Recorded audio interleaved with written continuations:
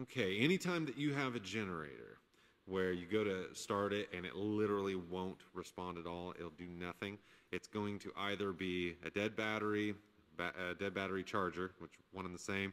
If those are both fine, then your problem is either going to be a corroded cable at the starter or it's something in this fuse box. So this is this is our control panel for our EPS generators. And I'm cheating here.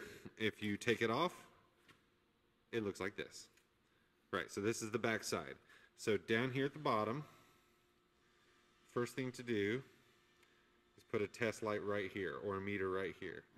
Or the or the red, either one. This is what comes directly from the start. Oops. This is what comes directly from the starter. Um, if there's no power here, then you've got a cable off uh, at the starter corroded off, broken off, and we'll get to that in a second. If it does have power, then that means your starter's good and you've got plenty of flow. The first thing to check is this little blade fuse. Oh, It's a twenty amp. little 20 amp blade fuse uh, right there. And a lot of times that'll be blown. Um, if that's good, that's good. It's usually one of these relays. It's just a poor connection. You clean those pins and then it should start.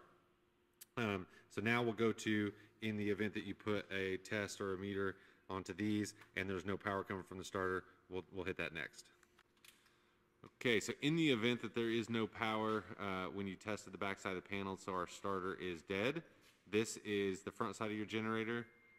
I'm cheating because I'm able to put the generator in the air, but if you get on the back side, right here, there, there's your starter, right here, and this, right here, uh, come over here and shine the light. It's that same red That, wire. that's that same red wire that ends up on the panel that we just tested.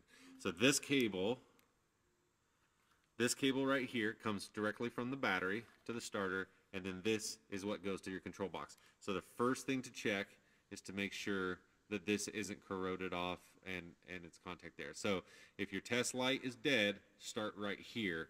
If that is good and solid and there's power, then the next thing to check is what they call a maxi fuse.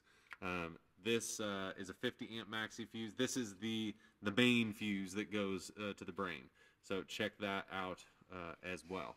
Um, and between those three things, you will find your problem.